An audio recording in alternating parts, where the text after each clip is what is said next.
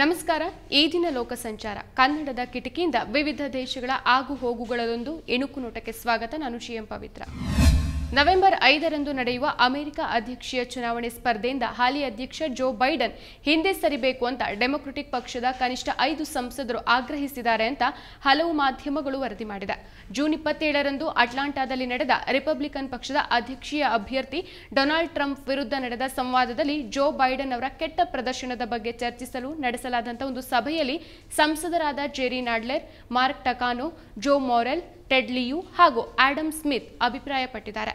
Biden ಅವರ ಉಮೇದುವಾರಿಕೆಯನ್ನು ಅನುಮೋದಿಸೋ ಬಗ್ಗೆ ಸಂಸದೀಯರಿಂದ ಅಭಿಪ್ರಾಯ ಸಂಗ್ರಹಿಸಲು ಈ ಸಭೆ ನಡೆಸಲಾಗಿತ್ತು ಅಂತ ನ್ಯೂಯಾರ್ಕ್ ಟೈಮ್ಸ್ ವರದಿ ಮಾಡಿದೆ. ಬೈಡನ್ ಸ್ಪರ್ಧೆಯಿಂದ ಹಿಂದೆ ಸರಿಬೇಕು ಅನ್ನೋ ಅಭಿಪ್ರಾಯ ವ್ಯಕ್ತವಾಗಿದೆ. ಬೈಡನ್ ಅವರಿಗೆ ನಿರ್ಗಮಿಸುವ ಸಮಯ ಬಂದಿದೆ ಅಂತ ಸಂಸದ ಸ್ಮಿತ್ ಹೇಳಿದ್ದಾಗಿ ಈ ಬಗ್ಗೆ ಮಾಹಿತಿ ಇರುವಂತಹ ಇಬ್ಬರು ಸಂಸದರು ನ್ಯೂಯಾರ್ಕ್ ಟೈಮ್ಸ್ಗೆ ವರದಿ ತಿಳಿಸಿದ್ದಾರೆ. ಬೈಡನ್ ಅವರು ಮರು ಆಯ್ಕೆ ಬಯಸಬಾರದು ಅಂತ ಡೆಮೊಕ್ರೆಟಿಕ್ನ ಹಿರಿಯ ನಾಯಕ ಟೆಡ್ ಲಿಯು ಹೇಳಿದ್ದಾಗಿ ದಿ ವಾಷಿಂಗ್ಟನ್ ಪೋಸ್ಟ್ ವರದಿ ಮಾಡಿದೆ. ಅಮೆರಿಕ ಅಧ್ಯಕ್ಷೀಯ ಚುನಾವಣೆಯಲ್ಲಿ ಅಧ್ಯಕ್ಷ ಜೋ ಬೈಡನ್ ಅವರ ಸ್ಪರ್ಧೆ ವಿಚಾರದಲ್ಲಿ ಅನುಮಾನಗಳು ವ್ಯಕ್ತವಾಗ್ತಾ ಇದೆ. ಚರ್ಚೆಯಲ್ಲಿ ಶೋಚನೀಯ ಪ್ರದರ್ಶನ ತೋರಿಸಿದ ಬೈಡನ್ ಅವರು ಅಖಾಡದಿಂದ ಹಿಂದೆ ಸರಿಬೇಕು ಅನ್ನೋ ಅಭಿಪ್ರಾಯ ವ್ಯಕ್ತವಾಗ್ತಾ ಇದೆ. ಆದರೆ ರೇಸ್ನಿಂದ ಹೊರಗುಳಿಯುವಂತೆ ತಮ್ಮ ಮನವೊಲಿಸಲು ಆ ದೇವರಿಗೆ ಮಾತ್ರವೇ ಸಾಧ್ಯ ಅಂತ ಬೈಡನ್ ಹೇಳಿದ್ದಾರೆ.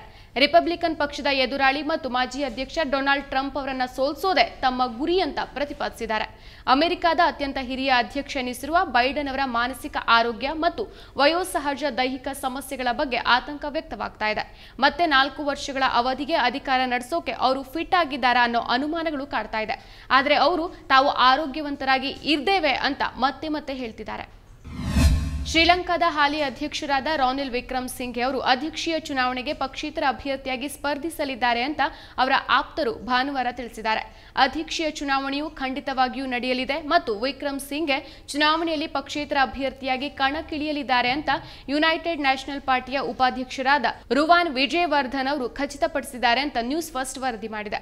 ಶ್ರೀಲಂಕಾ ಎದುರಿಸುತ್ತಿರುವ ಆರ್ಥಿಕ ಬಿಕ್ಕಟ್ಟನ್ನ ಬಗೆಹರಿಸಬಲ್ಲ ಸಾಮರ್ಥ್ಯವುಳ್ಳಂತಹ ನಾಯಕ ಅಂದ್ರೆ ಅದು ವಿಕ್ರಮ್ ಸಿಂಘೆ ತಮ್ಮ ಕೆಲಸದಿಂದ ಅವರು ಅದನ್ನ ಸಾಬೀತುಪಡಿಸಿದ್ದಾರೆ ಅಂತ ರುವಾನ್ ಹೇಳಿದಾಗಿ ವರದಿಯಾಗಿದೆ ವಿಕ್ರಮ್ ಸಿಂಘೆ ಅವರು ಎರಡ್ ಸಾವಿರದ ಇಪ್ಪತ್ತೆರಡರ ಜುಲೈನಲ್ಲಿ ಶ್ರೀಲಂಕಾದ ಅಧ್ಯಕ್ಷರಾಗಿ ಆಯ್ಕೆಯಾಗಿದ್ರು. ಇನ್ನು ಅಧ್ಯಕ್ಷೀಯ ಚುನಾವಣೆಯ ದಿನಾಂಕವನ್ನ ಈ ತಿಂಗಳ ಕೊನೆಯಲ್ಲಿ ಪ್ರಕಟಿಸಲಾಗುವುದು ಅಂತ ಚುನಾವಣಾ ಆಯೋಗದ ಮುಖ್ಯಸ್ಥ ಆರ್ಎಂಎಲ್ ರತ್ನಾಯಕ್ಕೆ ತಿಳಿಸಿದ್ದಾರೆ.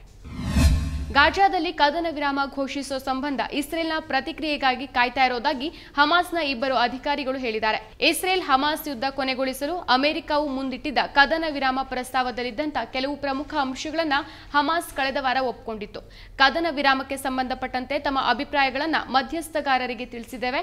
ಇಸ್ರೇಲ್ನ ಪ್ರತಿಕ್ರಿಯೆಗಾಗಿ ಕಾಯ್ತಾ ಇದ್ದೇವೆ ಅಂತ ಹಮಾಸ್ನ ಅಧಿಕಾರಿಯೊಬ್ಬರು ತಿಳಿಸಿದ್ದಾರೆ. ಕದನ ವಿರಾಮ ಪ್ರಸ್ತಾಪದ ಕುರಿತು ಇಸ್ರೇಲ್ ಹಮಾಸ್ ನಡುವೆ ಮಾತುಕತೆ ಪ್ರಗತಿಯಲ್ಲಿದೆ ಅಂತ ಹಮಾಸ್ನ ಇನ್ನೊಬ್ಬ ಅಧಿಕಾರಿ ತಿಳಿಸಿದ್ದಾರೆ. ಹಮಾಸ್ ನೀಡಿರುವ ಪ್ರತಿಕ್ರಿಯೆ ಸಂಬಂಧ ಕತಾರ್ನ ಜನಪ್ರತಿನಿಧಿ ಹಮಾಸ್ ನೀಡಿರುವ ಪ್ರತಿಕ್ರಿಯೆ ಸಂಬಂಧ ಕತಾರ್ನ ಪ್ರತಿನಿಧಿಗಳು ಇಸ್ರೇಲ್ ಜೊತೆಗೆ ಚರ್ಚಿಸಿದ್ದಾರೆ. ಇಸ್ರೇಲ್ನ ಪ್ರತಿಕ್ರಿಯೆನ ಒಂದೆರಡು ದಿನಗಳಲ್ಲಿ ನಮಗೆ ತಿಳಿಸುವ ಭರವಸೆ ಕೊಟ್ಟಿದ್ದಾರೆ ಅಂತ ಹೇಳಿದ್ದಾರೆ. ಡಬ್ಲ್ಯೂಡಬ್ಲ್ಯೂಇ ಐಕಾನ್ ಹದಿನಾರು ಬಾರಿ ಚಾಂಪಿಯನ್ ಪಟ್ಟ ಅಲಂಕರಿಸಿದ ಲೆಜೆಂಡ್ರಿ ಜಾನ್ ಸೇನಾ ಅವರು ಫ್ಯಾನ್ಸ್ಗೆ ಬಿಗ್ ಶಾಕ್ ನೀಡಿದ್ದಾರೆ.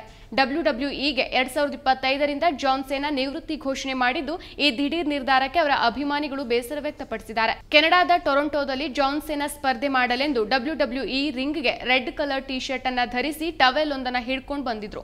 ಈ ಟಿ ಶರ್ಟ್ ಮೇಲೆ ಜಾನ್ ಸೇನಾ ಫೇರ್ವೆಲ್ ಟೂರ್, ಈ ಪ್ರವಾಸಕ್ಕೆ ವಿದಾಯ ಅಂತ ಬರೆದಿತ್ತು.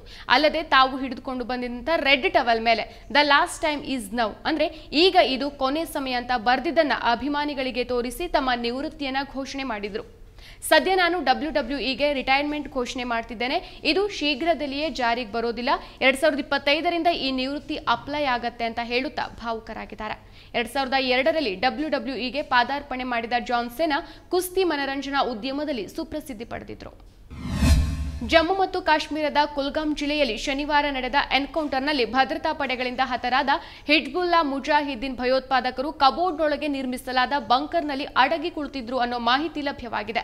ಅಡಗು ತಾಣ ಪತ್ತೆಯಾದ ನಂತರ ಅಧಿಕಾರಿಗಳು ಈ ಪ್ರದೇಶದಲ್ಲಿ ಭಯೋತ್ಪಾದಕರಿಗೆ ಆಶ್ರಯ ನೀಡುವಲ್ಲಿ ಸ್ಥಳೀಯರ ಪಾಲ್ಗೊಳ್ಳುವಿಕೆಯ ಬಗ್ಗೆ ತನಿಖೆ ನಡೆಸುತ್ತಿದ್ದಾರೆ. ಜಮ್ಮು ಮತ್ತು ಕಾಶ್ಮೀರದ ಕುಲ್ಗಾಮ್ ಜಿಲ್ಲೆಯಲ್ಲಿ ಶನಿವಾರ ಆರಂಭವಾದ ಅವಳಿ ಎನ್ಕೌಂಟರ್ನಲ್ಲಿ ಒಟ್ಟು ಆರು ಭಯೋತ್ಪಾದಕರು ಹತರಾಗಿದ್ದಾರೆ. ಮೊದರ್ಗಾಮ್ ಎನ್ಕೌಂಟರ್ ಸ್ಥಳದಲ್ಲಿ ಇಬ್ಬರು ಭಯೋತ್ಪಾದಕರ ಶವವನ್ನ ವಶಪಡಿಸಿಕೊಂಡ್ರೆ ಭಾನುವಾರ ಚಿನ್ನಿಗಂ ಸ್ಥಳದಲ್ಲಿ ನಾಲ್ಕು ಶವಗಳನ್ನು ವಶಪಡಿಸಿಕೊಳ್ಳಲಾಗಿದೆ. ಜಮ್ಮು ಮತ್ತು ಕಾಶ್ಮೀರದ ಡಿಐಜಿ ಸ್ಪೈನ್ ಮಾತನಾಡಿ ಇಷ್ಟೊಂದು ಸಂಖ್ಯೆಯಲ್ಲಿ ಭಯೋತ್ಪಾದಕರನ್ನ ಹತ್ಯೆ ಮಾಡಿರೋದು ದೊಡ್ಡ ವಿಷಯ ಅಂತ ಹೇಳಿದ್ದಾರೆ. ಸುಧಾರಣಾವಾದಿ ನಾಯಕ ಮಸೌದ್ ಪೆಜೆಶ್ಕಿಯನ್ ಅವರು ಇರಾನ್ ಅಧ್ಯಕ್ಷೀಯ ಚುನಾವಣೆಯಲ್ಲಿ ಗೆಲುವು ಸಾಧಿಸಿದ್ದಾರೆ. ಕಟ್ಟಾ ಸಂಪ್ರದಾಯವಾದಿ ನಾಯಕ ಸಯೀದ್ ಜಲೀಲಿಯವರನ್ನ ಸೋಲಿಸಿ ಅಧ್ಯಕ್ಷ ಗಾದಿಗೇರಿದ್ದಾರೆ ಚುನಾವಣೆ ವಿಜಯದ ಬಳಿಕ ದೇಶದ ಜನರನ್ನ ಉದ್ದೇಶಿಸಿ ಮಾತನಾಡಿದ ಪೆಜೆಶ್ಕಿಯನ್ ದೇಶದ ಆತ್ಮೀಯ ಪ್ರಜೆಗಳೇ ಚುನಾವಣೆ ಮುಗಿದಿದೆ. ಇನ್ನು ಮುಂದೆ ಒಟ್ಟಾಗಿ ದೇಶದ ಅಭಿವೃದ್ಧಿಗೆ ಕೆಲಸ ಮಾಡೋಣ.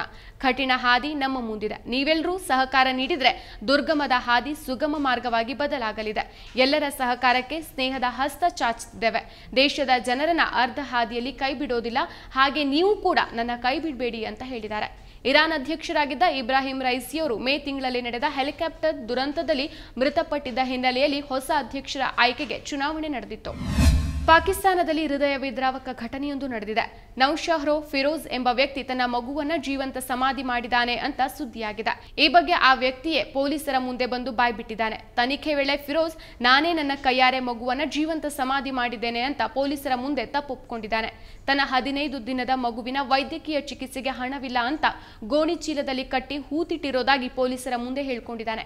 ಮಗುವನ್ನ ಹೆಣ್ಣು ಮಗು ಅಂತ ಗುರುತಿಸಲಾಗಿದ್ದು ಪೊಲೀಸರು ನೌಶರೋ ಫಿರೋಜ್ ವಿರುದ್ಧ ಪ್ರಕರಣ ದಾಖಲಿಸಿಕೊಂಡಿದ್ದಾರೆ.